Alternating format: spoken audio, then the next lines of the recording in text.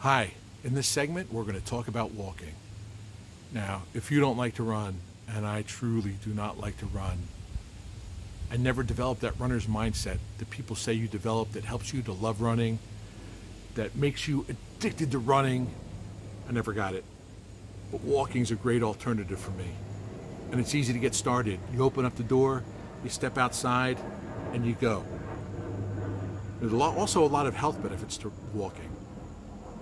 People will talk about burning calories and losing weight, and those are two really good ones, but there's more to it than that. Walking helps you strengthen your bones. Walking will help you build endurance and improve your balance. And for fencers, those are two important traits. And if you do have a chronic condition like high blood pressure or high cholesterol or diabetes, walking is a great way to help you manage those conditions. But for me, I think one of the things I like the most is the, the de-stressing aspect of it. Sometimes I kind of feel a little bit bunched up from work. I feel like things are just weighing on me.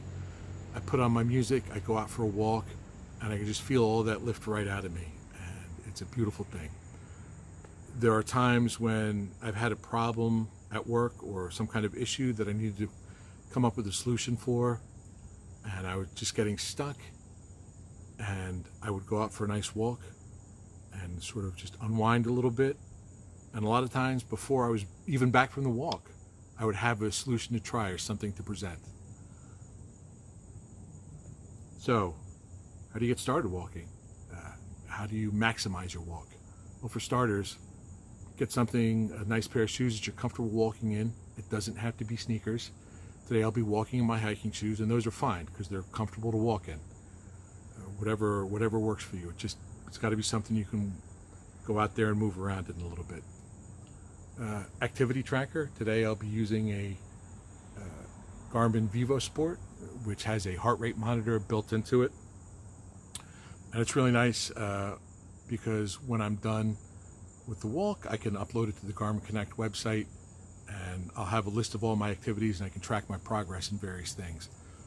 If you have a Fitbit, I think that will do the same thing for you. But I do like the aspect of having a heart rate monitor attached to it. So set a pace. For me today, I'm going to try and do two miles in 35 minutes or less. So, but the important thing is you just want to remember it's a brisk walk. It's not a leisurely stroll.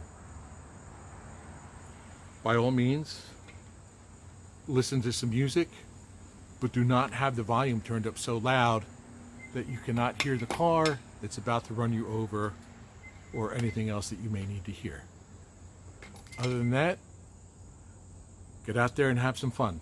Thank you.